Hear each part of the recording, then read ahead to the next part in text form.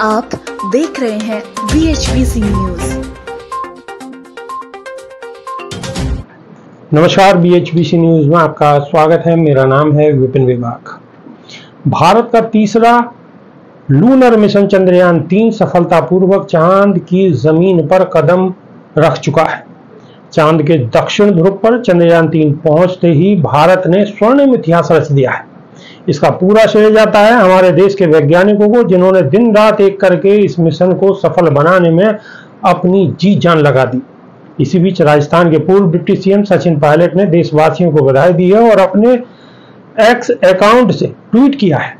सचिन पायलट ने साल 1960 के रॉकेट लॉन्च से पहले की एक तस्वीर पोस्ट की है, जिसमें इसरो साइंटिस्ट रॉकेट के पार्ट को साइकिल पर ले जा रहे हैं। इस तस्वीर के साथ सचिन पायलट ने लिखा है कि भारत ने रखा चाँद पर कदम, अंतरिक्ष के क्षेत्र में रचा स्वर्णिम इतिहास चंद्रयान तीन के चंद्रमा की सतह पर सॉफ्ट लैंडिंग सफलतापूर्वक होने पर देशवासियों को हार्दिक बधाई। ये देश को गौरवान्वित करने वाला पल है। मैं इसरो के समस्त वैज्ञानिकों को शुभकामनाएँ देता हूँ। आप सभी के वर्षों का परिश्रम आज सफल हुआ।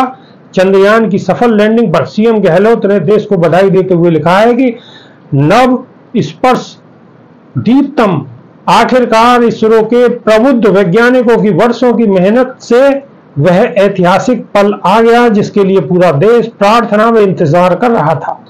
चंद्रयान तीन की कामयाबी के लिए टीम के सभी वैज्ञानिकों को हार्दिक बधाई। विश्व स्तर पर देश को मिली यह अभूतपूर्व सफलता वैज्ञानिकों के अथक परिश्रम एवं नेहरू जी व इंदिरा जी की अंतरिक्ष अनुसंधान के प्रति दूरदर्शिता का परिणाम है। आज़ादी के कुछ वर्षों के बाद ही अंतरिक्ष अनुसंधान के लिए संस्थान बनाने से आज भारत वैश्विक अंतरिक्ष शक्ति बन गया है। अभी के लिए सिर्फ़ इतना ही। नमस्कार।